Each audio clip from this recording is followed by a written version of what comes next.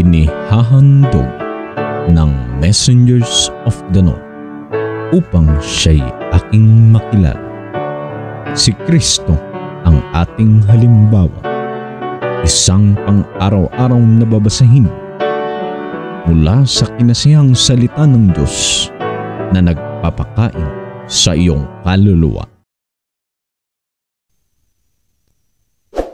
Ikadalawamput tatlo ng Agosto taong dalawang libo at dalawamput isa. Paano makatakas sa pagkakasala?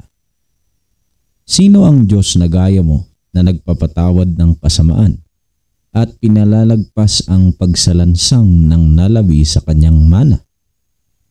Hindi niya pinipigil ang kanyang galit ng magpakailanman sapagkat siya'y nalulugod sa kagandahang loob.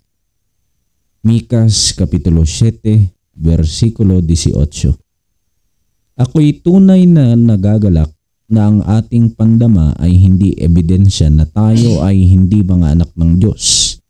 Ang kaaway ay tinutukso tayo na isipin natin na tayo ay nakagawa ng mga bagay na magpapahiwalay sa atin mula sa Diyos at tayo ay hindi na niya iniibig. Ngunit ang ating Panginoon ay patuloy tayong iniibig. Lumayo ng tingin sa iyong sarili sa kasakdalan ni Kristo.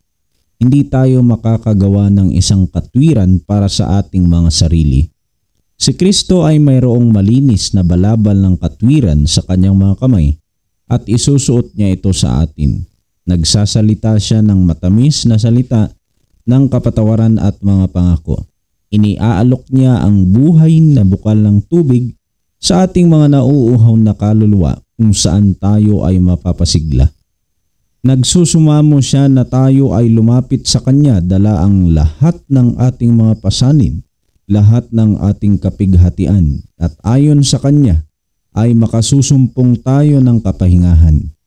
Nakikita ni Jesus ang pagkakasala ng nakaraan at nagpapahayag ng kapatawaran at hindi natin dapat alisin ang karangalan niya sa pamamagitan ng pagdududa sa kanyang pag-ibig. Ang pakiramdam ng pagkakasala na ito ay dapat ilatag sa paanan ng krus ng Kalbaryo.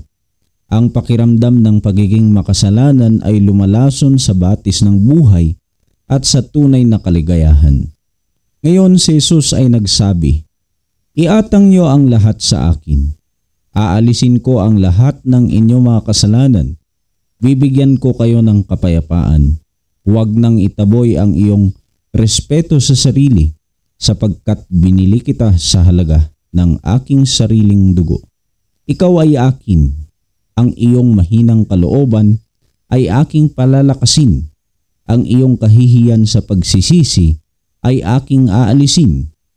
At kung gayon ay ibaling ang inyong mapagpasalamat na puso na nanginginig sa pag-aalinlangan sa Kanya at panghawakan ang pag-asa na inilaan sa harap mo. Tinatanggap ng Diyos ang iyong sugatan at nagsisising puso at iniaabot sa iyo ang walang bayad na kapatawaran. Iniaalok niya na ampunin ka sa kanyang pamilya sa kanyang biyaya upang tulungan ang iyong kahinaan. At ang kaibig-ibig na tagapagligtas ay akayin ka unti-unti ipagtiwala ang iyong mga kamay sa Kanya at hayaan siyang alalayan ka. Magsiyasat para sa mga mahahalagang pangako ng Diyos. Kung ang mga sulsol ni Satanas ay tumatakot sa iyong kaisipan, tumalikod sa mga ito at panghawakan ang mga pangako at hayaan na ang iyong kaluluwa ay maaliw sa kanyang kaliwanagan. Ang ulap ay madilim, ngunit kung pupunuin ng ilaw, ito ay magiging maliwanag na tulad ng ginto sapagkat ang kaluwalhatian ng Diyos ay naroroon.